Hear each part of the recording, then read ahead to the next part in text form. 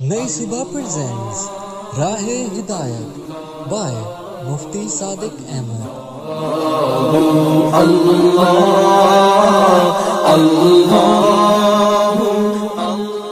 الحمد للہ وکفا والصلاة والسلام علی اشرف الانبیاء اما بعد۔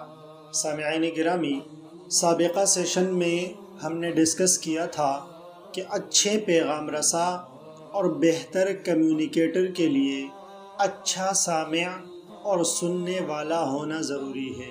پھر اچھے سننے والے، بہتر سماعت اختیار کرنے والے کی کیا خصوصیات ہوتی ہیں؟ ان میں سے چند آپ کے گوشے گزار کرنے کے بعد، آج کے سیشن میں مزید آٹھ آداب آپ کے ساتھ شیئر کرنا چاہتا ہوں۔ نمبر ایک، مخاطب کی بات پر اگر اپنی کوئی رائے یعنی فیڈ بیک پیش کرنا ہو، تب مخاطب کے پیغام کو بہتر طریقے سے سمجھتے ہوئے رائے قائم کر اور خیال رہیں کہ آپ کی قائم کردہ رائے مخاطب کے لیے مثبت پازیٹیو صحت مند حوصلہ افزا، واضح اور غیر مبہم ہو، جس میں کوئی پوشیدگی باقی نہ رہے۔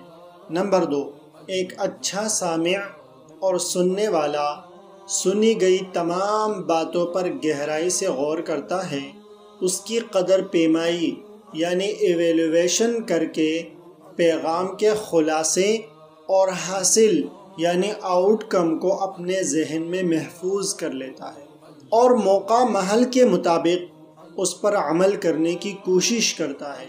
کیونکہ محض سننا یا یاد کرنا انسان کی ترقی اور کامیابی کے لیے کافی نہیں ہے۔ نمبر تین اچھا سننے والا اپنی زندگی کے مشکلات اور مسائل کو بالائے طاق رکھ کر بات کرنے والے مخاطب کو مایوسی اور محرومی سے بچتے ہوئے توجہ سے سنتا ہے۔ اور ہمیشہ مثبت انداز میں اپنے آپ کو سوچنے پر آمادہ کرتا ہے۔ نمبر چار، ایک اچھا سننے والا اور بہتر سماعت رکھنے والا، اپنی طاقت اور قابو سے باہر خراب حالات، ناگزیر حالات، ترقی میں مانع رکاوٹوں اور پسپائی کو نہ صرف خندہ پیشانی سے قبول کرتا ہے، بلکہ انہیں وقتی، غیر مستقل اور وقت کے ساتھ گزر جانے والے امور اور فیکٹرز تصور کرتا ہے۔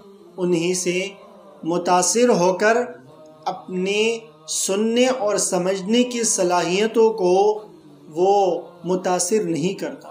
نمبر پانچ، ایک اچھا سننے والا اپنی سماعت پر حسد، کینہ، بغض، دشمنی، نفرت اور کدورت جیسے جذبات کو کبھی غلبہ پانے نہیں دیتا۔ وہ ہمیشہ اپنے غصے اور جذبات پر قابو رکھتا ہے اور انہیں کنٹرول میں رکھتا ہے۔ دورانی سماعت اپنے دل و دماغ کو ٹھنڈا اور پرسکون رکھتا ہے۔ نمبر چھ اچھا سننے والا۔ دورانی سماعت بولنے کے لیے نہ صرف اپنی باری کا انتظار کرتا ہے، بلکہ مخاطب کی بات کو درمیان سے کبھی نہیں کاٹتا۔ اور اگر ضرورت محسوس ہو جائے تو بات کرنے والے سے اجازت لے کر ہی اپنی بات شروع کرتا ہے۔